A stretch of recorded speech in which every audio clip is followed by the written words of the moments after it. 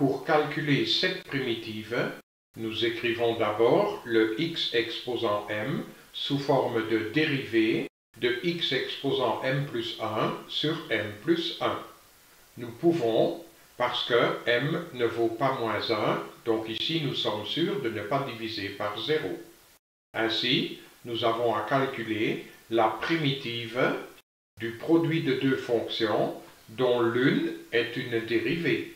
Nous pouvons donc appliquer la formule de dérivation par partie, qui dit que, pour calculer la primitive du produit de deux fonctions dont l'une est une dérivée, il suffit d'écrire le produit de ces deux fonctions mais sans le prime, comme ceci, et de soustraire la primitive du produit de ces deux mêmes fonctions, mais où cette fois-ci le prime saute sur l'autre. Appliquons cette formule dans notre cas. Hop, c'est fait. C'est fait parce que nous avons bien écrit le produit de ces deux fonctions sans prime, moins primitive du produit de ces deux mêmes fonctions, où cette fois-ci le prime saute sur l'autre. Donc nous avons ce quotient sans prime, voilà, et ici nous aurons ln' de x, c'est 1 sur x. Là-dedans, on peut simplifier par x, ce qui donne alors x exposant m, et le 1 sur m plus 1 est une constante multiplicative qui vole hors de la primitive. Ainsi, nous obtenons ceci. Et reste à primitiver x exposant m, ce qui donne bien sûr x exposant m plus 1 sur m plus 1. Maintenant, nous pouvons encore mettre cette fraction en évidence et nous avons ainsi trouvé la primitive demandée. Et qu'est-ce qui se passe dans le cas lorsque m vaut moins 1 Alors la primitive à calculer, c'est celle-là. Le m vaut bien moins 1.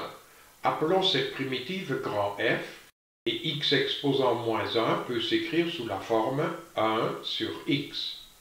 Oui, mais 1 sur x, c'est exactement la dérivée de ln de x. Donc ici, nous avons le produit de deux fonctions à primitiver, dont l'une est une dérivée. On peut encore une fois appliquer la formule de primitivation par partie, qui dit que il faut d'abord écrire le produit des deux fonctions mais sans prime, c'est fait, et soustraire la primitive du produit de ces deux mêmes fonctions, où cette fois-ci le prime saute sur l'autre. Donc nous obtenons cette fonction-là sans prime, la voilà, et cette fonction-là avec prime. Et ln' de x est 1 sur x. Oui, mais la primitive qui reste à calculer, c'est exactement la primitive que nous cherchons depuis le début.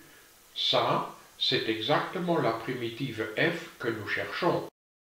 Donc si nous déterminons cela de la même façon, alors ça va faire un cercle vicieux. On retombera chaque fois sur cette primitive-là et on n'avance pas. Mais regardons bien, nous avons la primitive grand F est égale à une constante additive près à ln au carré de x moins cette primitive grand F, comme ceci. Et dans cette égalité-là, égalité à une constante additive près, nous pouvons mettre le moins f de l'autre côté, et à gauche, on aura alors grand F plus grand F, c'est-à-dire 2 fois grand F. Et si nous mettons encore le 2 de l'autre côté où il va diviser, alors nous avons quand même trouvé la primitive que nous cherchions. Et par conséquent, ces deux exercices sont terminés.